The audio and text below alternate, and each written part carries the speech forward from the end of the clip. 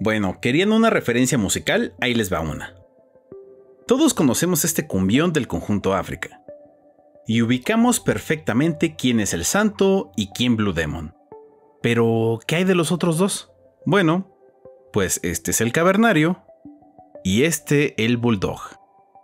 Y ahora que lo saben, vamos a hablar de una película de lucha libre. Tal vez la primera. Bueno, más bien de una película que aborda uno de los miedos más profundos de nuestra sociedad. El miedo al éxito. Pero entonces yo solo pensaba en la lucha. En que iba a ganar. Y un momento después todos se quedaban atrás. Pero en pocos días yo había logrado lo que buscaba. El éxito o lo que ello representa en nuestra sociedad sigue siendo un tabú con el que no terminamos de pelearnos.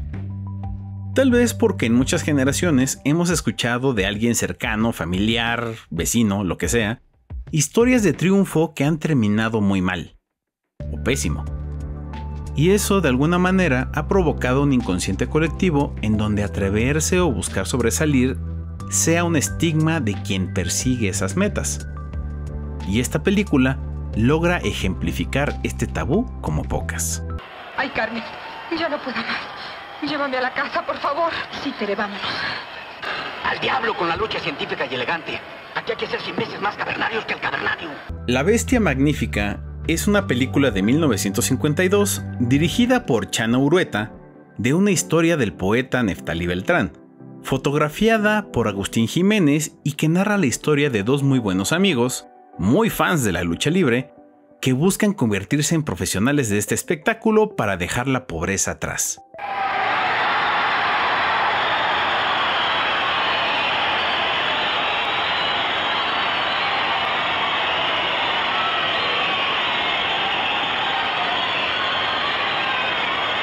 Esta cinta cuenta con las actuaciones de José Elías Moreno, Cruz Alvarado, Irma Dorantes, Wolf Rubinskis, Miguel Manzano y la única y divina Miroslava.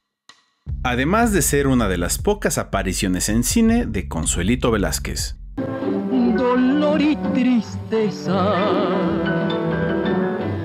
Yo me siento en otro mundo la lucha libre es uno de los espectáculos deportivos con más arraigo en México, eso no se duda.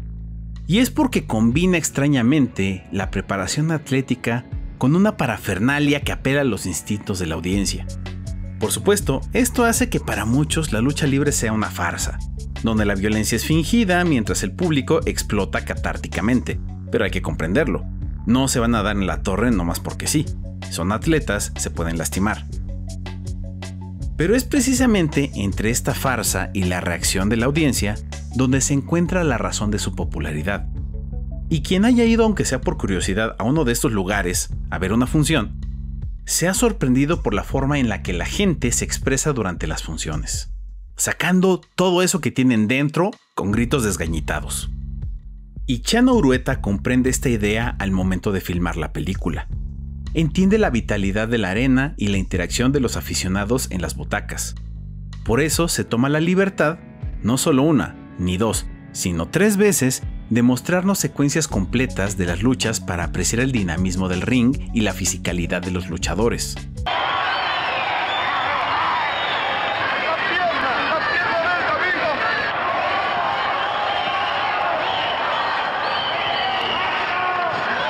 Tal vez por eso la lucha libre empata muy bien con el cine. Finalmente, el cine es movimiento. Y en un medio audio visual, ojo con eso, lo que se mueve capta las miradas y la atención del público. Y si se fijan, los luchadores en la arena hacen lo mismo. Necesitan ser muy expresivos en las funciones. Nunca están quietos. Y esto lo hacen para mantener la atención hasta del que está vendiendo cacahuates en la última fila de la arena.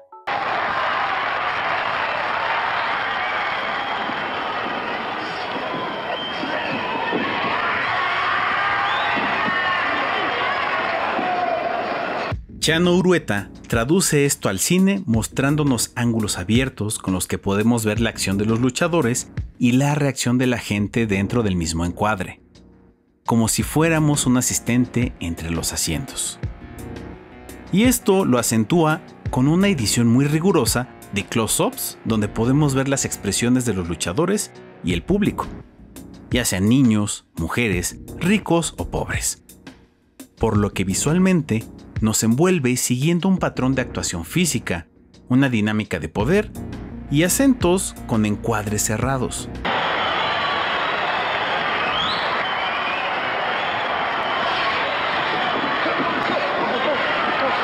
Por eso podemos decir que en La Bestia Magnífica la actuación física resalta más que la actuación por diálogos.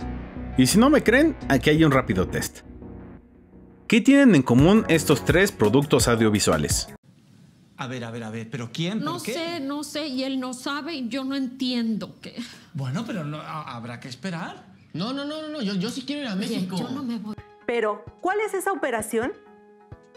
Porque, claro, desde antes de comenzar su educación formal, han empleado las operaciones de adición y sustracción.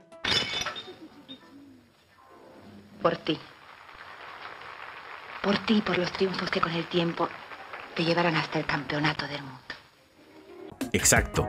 No duran más de 20 segundos y se sienten eternos. Citando a Alfred Hitchcock, but to me they're what I call photographs of people talking and bears no relation to the art of the cinema. las fotografías de personas hablando no tienen nada que ver con el arte de hacer cine. Y es que a diferencia de las escenas de lucha, los diálogos terminan por ser soliloquios sin movimiento. Escenas tediosas donde no pasa nada, donde los actores casi ni se mueven, y todo se intenta transmitir meramente por los diálogos. Diálogos y más diálogos. Y no importa si estos tienen cortes, sin una dinámica no hay cine. Pero chance y televisión sí. Como los malos directores lo hacen con todo y el presupuesto que les da Netflix. Bien, muy bien. ¿Y ahora qué vas a hacer?